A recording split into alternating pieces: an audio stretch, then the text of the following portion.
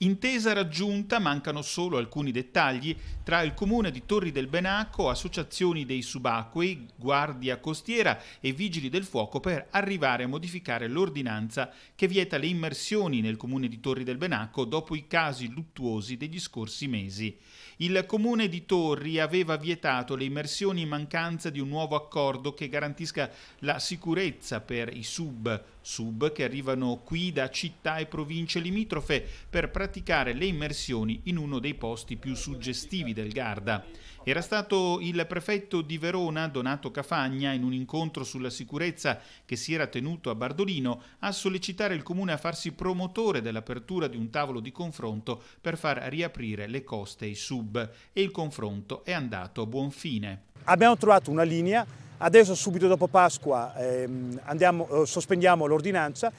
e cominciamo a definire quelle regole decise dal tavolo per poi attuare all'interno del regolamento balneare del lago di Garda. È un lavoro faticoso, ma dà sicurezza di vita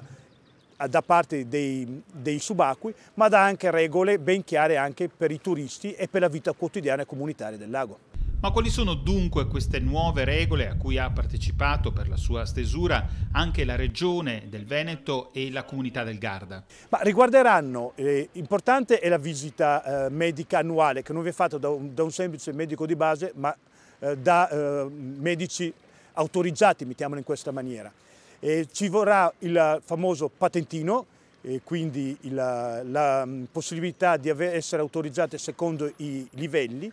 il Comune ha preso atto e si è preso l'impegno economico davanti alle associazioni di creare quel parco sub che lo verrà fatto a nord del paese, tra eh, eh, Lungolago Vittorio Veneto e il Monumento dei Caduti